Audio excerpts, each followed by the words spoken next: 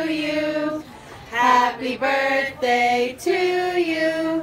Happy birthday, dear Gabe. Happy birthday.